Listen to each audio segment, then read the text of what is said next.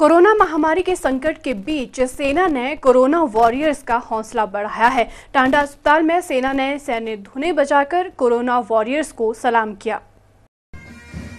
रविवार को टांडा मेडिकल अस्पताल परिसर में सैन्य बैंड ने सैन्य धुने बजाकर टीएमसी में कोरोना वॉरियर्स को सलाम किया। सैन्य वाहनों में टीएमसी पहुँचे सैन्य बैंड के जवानों ने धुने बजाकर कोरोना वॉरियर्स की हौसला अफजाई की। जिस समय सैन्य बैंड द्वारा कोरोना वॉरियर्स के सम्मान में धुने बजाई जा रही थी, उस समय वहाँ मौजूद लोगों को इन पलों को कैमरे में कैद करते हुए देखा गया। गौरतलब है कि कोविड 19 की लड़ाई में आम जनता की रक्षा में अहम भूमिका निभा रहे स्वास्थ्य विभाग, पुलिस विभाग और सफ़ाई कर्मियों को हर कोई सलाम कर रहा है।